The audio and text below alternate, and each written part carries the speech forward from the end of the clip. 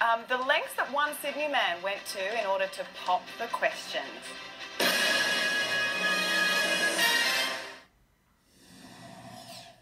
Okay, let's head back into the chat room with Nine's Jo Hall and Wendy Kingston. And we'll go out with a bang, ladies, with this one. A Sydney man has gone to extravagant lengths to propose to his girlfriend.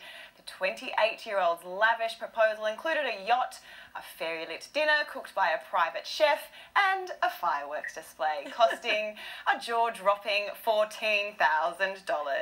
And that doesn't include the ring. Wendy, I'm sure it's, you know, all lovely for her, but I just can't help thinking, what a waste of money. No, Belinda, Oh. the romance, the romance, Oh. he says you only propose once in your lifetime. And look, you're uh, completely opposite to how I was proposed to. But if someone did that, I mean, this guy scrapbooked, a man scrapbooking, 10 points to you. I think it's brilliant. Go nuts, go nuts. And she said yes, I, I'm assuming so, Yes. as if she would. So Just as fully, well. thankfully. Yeah, thankfully. But I don't what do know. you think, You, Jo? you just think about when, you know, now when you've got a mortgage and children and all those things, even when I think back to what we spent on our wedding, which wasn't, you know, a huge amount, but I sort of go, oh, that money would be nice now. Oh, mm. gosh, yeah. Don't you think, Jo? I mean, you've got to wonder, what do you think about that?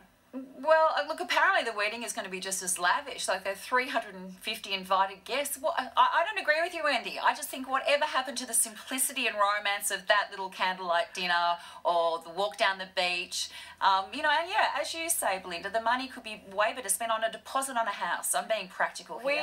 we we are Being being so very practical. I'm being romantic. okay, we've got uh, one romantic and two practical women here.